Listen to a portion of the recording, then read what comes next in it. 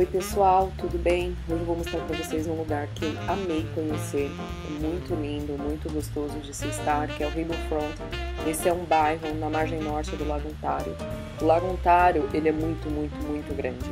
Às vezes você olhando, você acha que é um mar, tal, mas não é.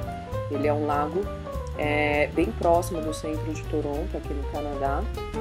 Desde o início, desde a fundação da cidade de Toronto, Aqui tem sido usado como porto também, para fins comerciais, para transporte. É, e além disso, além do porto, hoje tem muitas outras coisas que acontecem à beira ah, do Lago Ontário. Existem muitos condomínios residenciais, é, existe um aeroporto aqui próximo, vou mostrar, esse aeroporto ele faz voos nacionais, tem muitos, muitos jardins em todo o ao longo do lago.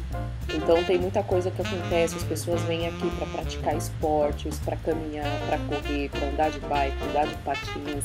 É, no verão é um local muito movimentado, é um local onde as pessoas gostam de estar. E eu vou mostrar um parque que tem bem do lado de onde eu estou, que é o Music Garden. Esse parque, como o próprio nome diz, ele é utilizado muito na questão musical.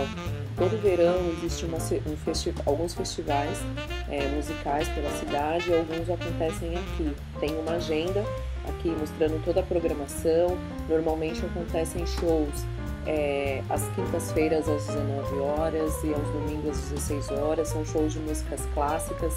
É, ó, sempre tem alguns bancos na estrutura da pra, do, desse parque, tem alguns bancos, alguns lugares para as pessoas estarem, mas normalmente, como vem muita gente, as pessoas acabam trazendo suas próprias cadeiras, toalhas ou algum tipo de pano para sentar e apreciar o show.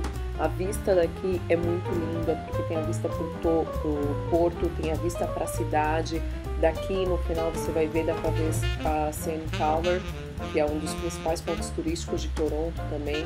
Então é um local muito agradável de se estar. Espero que vocês tenham gostado. Depois eu vou postando mais locais legais, tá bom? Beijos!